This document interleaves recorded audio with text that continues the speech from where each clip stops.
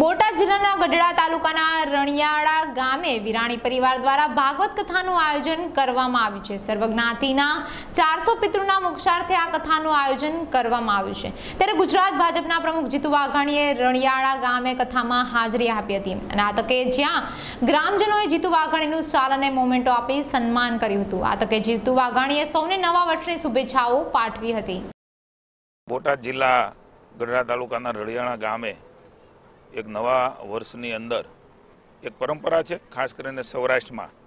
ધાર્મિક કાર્યો, સત્કાર્યો થતા હોય છે. ક્યાંય ભાગવત સપ્તાહ, ક્યાંય રામાયણ કાંઈ શિવકથા કાંઈ મંદિરની પ્રતિષ્ઠા કાંઈ ગૌશાળા માટેના કામો.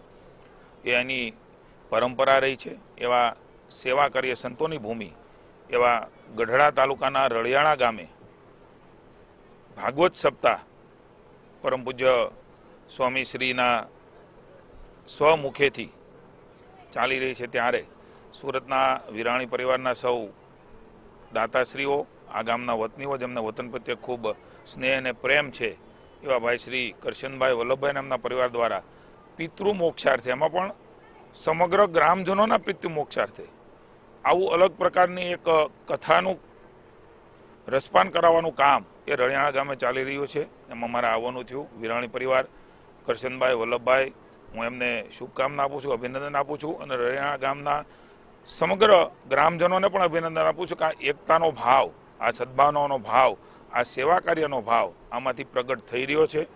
જ્યારે દેવગઢ બારિયાના મોટી ઝરી ગામે ગુજરાત રાજ્યના પશુપાલન મંત્રી બચુભાઈ ખાબડની અધ્યક્ષતામાં સ્નેહ મિલન યોજવામાં આવ્યું હતું. આ પ્રસંગે બચુભાઈ ખાબડે કોળી સમાજની એકતા પર ભાર મૂક્યો હતો. આ કાર્યક્રમમાં ગુજરાત રાજ્યના અગ્રણી કાર્યકરો સહિતના મોટી સંખ્યામાં કોળી સમાજ લોકો ઉમટી પડ્યા હતા. અમરેલીમાં ખેડૂત કેન્દ્ર ખાતે જિલ્લા ભાજપનું વિશાળ કાર્યકર્તાઓ અને આગેવાનોની હાજરીમાં સ્નેહ મિલન યોજાયું હતું. જેમાં ભાજપ સરકાર દ્વારા કરવામાં આવેલા વિકાસના કામોને લોકો સુધી લઈ જવા અને કોંગ્રેસના દ્વારા ફેલાવાતા જૂઠાણા સામે જાગૃત થવા કાર્યકર્તાઓને અપીલ કરવામાં આવી હતી. જ્યારે બીજી તરફ આતકે જિલ્લા ભાજપ પ્રમુખ હિરન હિરપરા, કેન્દ્રીય મંત્રી મનસુખ માંડવિયા અને પુરુષોત્તમ રૂપાલા કૃષિ મંત્રી આરસી ફળદુએ વિપક્ષ પર આકરા પ્રહારો કર્યા હતા. આ સ્નેહ મિલન કાર્યક્રમમાં બહોળી સંખ્યામાં ભાજપ કાર્યકરો જોડાયા હતા.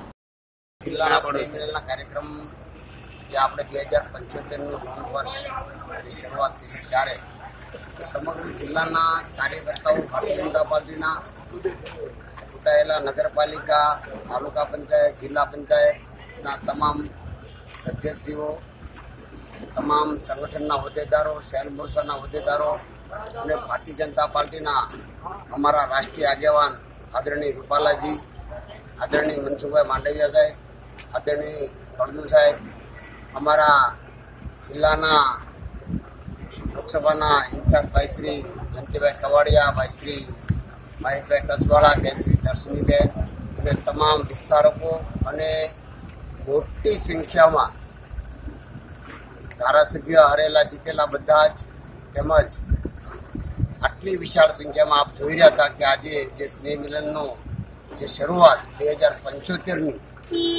એ આવનારી લોકસભાની બે હજારની ઓગણીસની ચૂંટણીના પડઘમ જ્યારે વાગી ચૂક્યા છે ત્યારે એને ફરી પીવા માટે અને નરેન્દ્રભાઈના હાથ મજબૂત કરવા માટે, રાષ્ટ્ર માટે અને રાજ્ય માટે જે વિકાસની જે શૃંખલા અવિરતપણે ચાલી રહી છે, એમાં ક્યાંય પણ વોટ ના આવે એના માટે જે કાર્યકર્તાઓને અમારા રાષ્ટ્રીય નેતાઓએ જે પડકાર કર્યો છે, એ ઝીલી લેવા માટે કાર્યકર્તાઓ તત્પર હતા એ આપણે જોઈ રહ્યા છો.